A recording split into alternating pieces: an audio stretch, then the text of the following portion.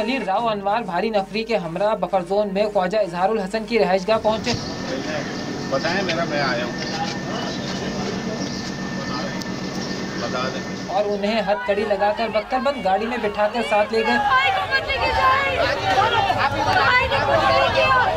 मौके पर M Q M Pakistan के सरबरा डॉक्टर फारूक सत्तार समेत अहम रहनुमा भी मौजूद थे जिनकी राव अनवार से तल्ख कलामी भी हुई। आप मुझे फ़ोन करके? किसको? नहीं आपका तो वो नहीं था आपको फ़ोन करके तो नहीं आना था। जबकि इस दौरान डॉक्टर फारूक सत्तार ख्वाजा इजहारुल हसन के साथ लिपटे रहे।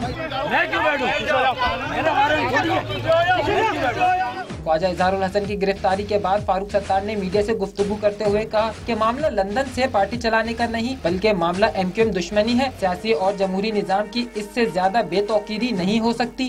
बग़ैर वारंट गिरफ्तारी, बग़ैर किसी इल्ज़ाम के, दिन दहाड़े उनके घर से हम सब की मौजूदगी में जिस तरह उन्हें खींचते हुए, धक्का देते हुए, और मैं बात करना चाह रहा हूँ, मैं रबता कमेटी पाकिस्तान का सरबरा।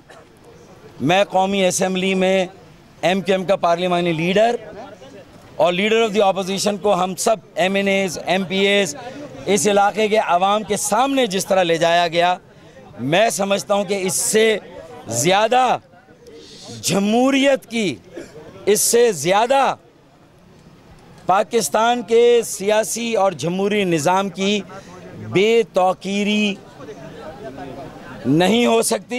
एम क्यू एम पाकिस्तान के सरबरा डॉक्टर फारूक सत्तार ने कहा कि इस शहर के लोग मजीद जिल्लत और रसवाई बर्दाश्त नहीं करेंगे। हम बड़े पैमाने पर गिरफ्तारियाँ देने को तैयार हैं जबकि हमने मुहाजरों को तकसीम होने से रोका है। आसिफ अली जरदारी साहब की पार्टी की हुकूमत है बिलावल भुट्टो जरदारी की पार्टी की हुकूमत है यहाँ मुराद अली शाह की हुकूमत है।